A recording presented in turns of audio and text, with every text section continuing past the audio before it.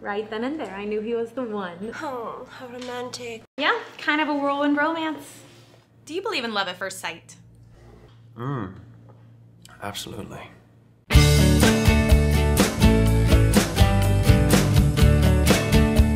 Oh, this isn't that jock guy, the one that you've been stalking. Hi, do, do I know you?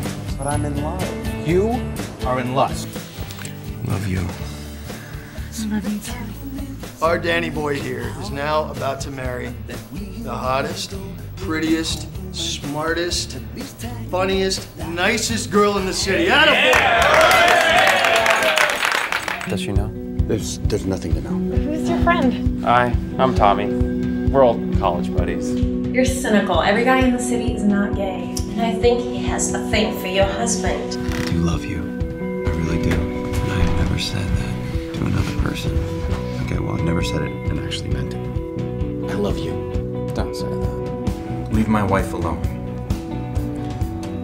Thank you. You do know he's never gonna leave her for you. Did you hear me? He's never going to leave her for you. Daniel. Do you believe in love at first sight?